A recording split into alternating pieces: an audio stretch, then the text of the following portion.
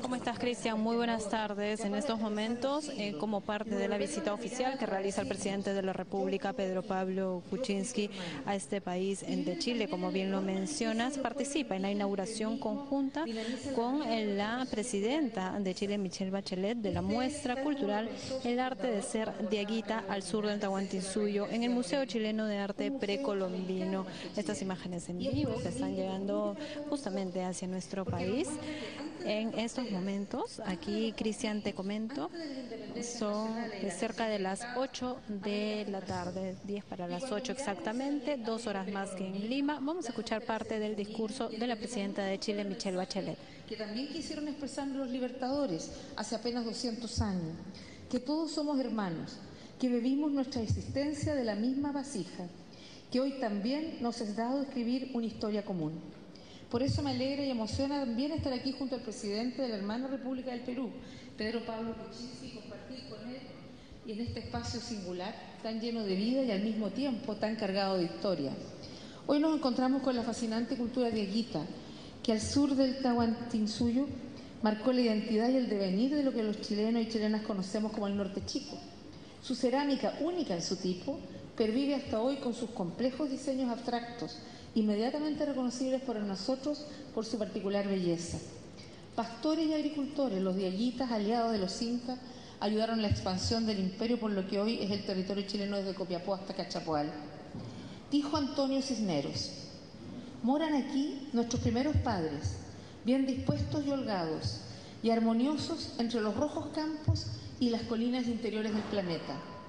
Esta muestra nos permitirá conocer y valorar mejor y más integralmente a un grupo humano cuyas comunidades siguen vivas y muy activas hoy.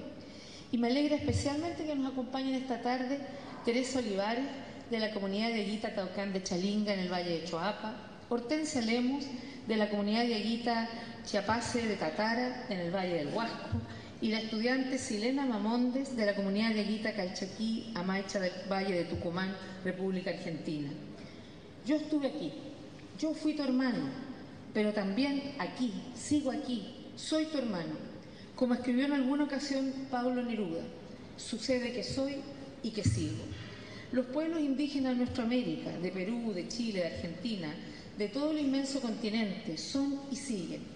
Son parte de nosotros, de nuestras tradiciones, de nuestra realidad cotidiana y sobre todo de nuestro futuro, que no puede ser sin un futuro compartido, un futuro de hermanos. Muchas gracias.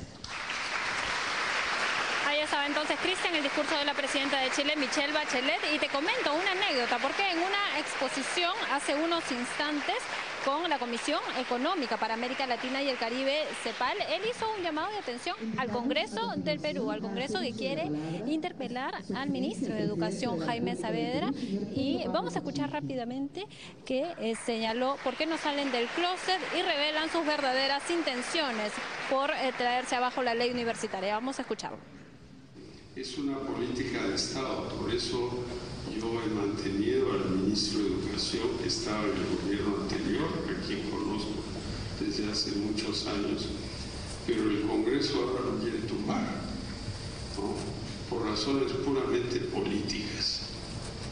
O sea, es gente que representa universidades privadas que quieren privilegios y que por eso quieren marcar el Congreso una tendencia. Y yo necesito obviamente, a ver, a ver, salgan de su closet y díganme que quieren te caigas como triple, o sea, todo. Es, es realmente una vergüenza lo que está pasando. Ahora, yo, yo sí creo que en el Perú más y más la gente se da Bien, esas fueron justamente ¿no? Eh, lo que declaraba ¿no? Pedro Pablo Kuczynski sobre una situación de política interna. Bueno, ya cada uno eh, juzgará si es que eh, era lo correcto o no. Ese mensaje ya lo conocemos aquí en nuestro país. Pero bueno, ahora está justamente declarando una vez más. Escuchemos al presidente Kuczynski. Preferimos ponerlo más cerca de donde está el público. Y este museo, aunque no grande, nos da muchas ideas de cómo se puede presentar estas riquezas históricas en una manera muy interesante y naturalmente espero que BHP Billiton también nos ayude con nuestro museo. ya que tienen una mina inmensa en el Perú que se llama Antamina. Lo, interesante aquí, y puede parecer eh, un poco paradójico que alguien que se, apellida Kuczynski esté hablando de las culturas incaicas y preincaicas. Pero mi padre, en todas las fotos que tomó a lo largo de sus viajes por el Perú, eh, se hizo muy amigo de muchos arqueólogos eh, tiene una colección inmensa de fotos que no hemos publicado, de huacas, de ruinas, de perfiles de personas que se parecen a las personas retratadas en algunos de estos huacos que están ahí. O sea que aquí hay un continuo de historia, de historia no solo hacia sino cultural y geográfica que une la costa de América y va hasta la Argentina del otro lado de, la cordillera. Y esta cultura diaguita nos recuerda eso, en un microcosmo, porque no es una cultura inmensa, pero es una cultura que se está conservando aquí gracias a los esfuerzos de este museo. La cultura es fundamental porque las personas no solo viven de lo material, sino de la historia. Porque si uno no conoce la historia para atrás, no sabe para dónde va para adelante. Y este museo nos está recordando esto y los felicito. Es realmente un placer estar con usted, Presidenta, en este lugar tan bello y tan recordatorio. Muchas gracias.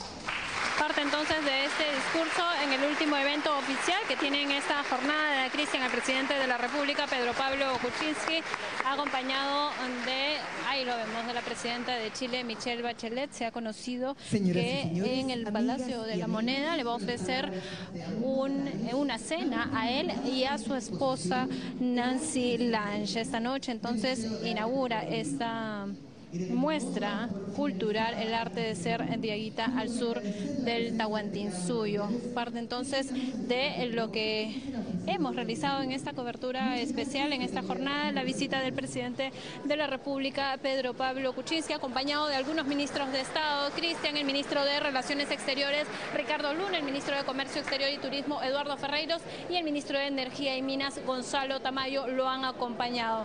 Es la información que tenemos entonces en lo que es esta jornada desde Santiago de Chile. Contigo en estudios, Cristian. Listo, Katia, muchísimas gracias. Volvemos contigo en cualquier momento. Vamos a darle rapidito una mirada a lo que está ocurriendo en Cuba, ¿no? Horas antes justamente de este último adiós a eh,